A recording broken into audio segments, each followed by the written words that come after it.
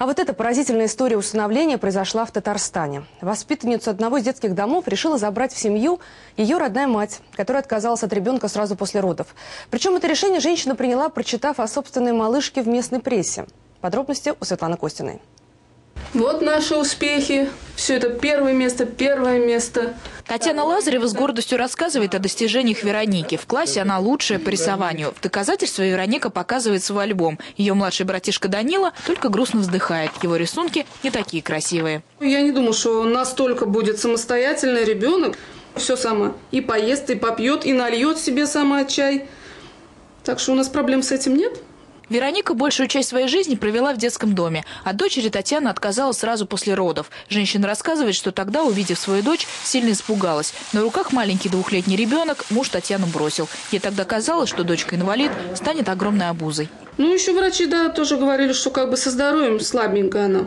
Как бы долго, говорят, наверное, и не проживет. Вопреки прогнозам врачей, Вероника выжила и стала всеобщей любимицей детского дома. Она быстро научилась ходить и даже пыталась помогать воспитателям заботиться о других малышах. Девочка была очень добрая, она очень хорошо шла на контакт.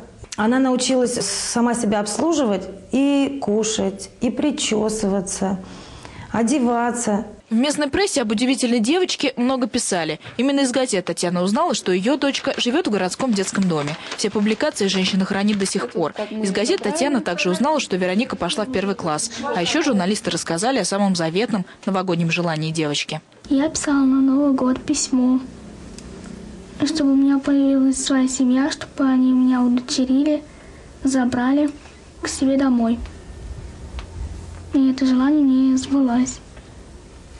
Рассказать свою историю мужа Татьяна долго не решалась. Она второй раз замужем и родила еще одного ребенка. Дмитрий полностью поддержал Татьяну в ее желании забрать дочку из детского дома. Теперь в их семье трое детей. На этих кадрах первые дни Вероники дома. Она ни на шаг не отходит от мамы и все время повторяет одни и те же слова. Я люблю тебя, мама.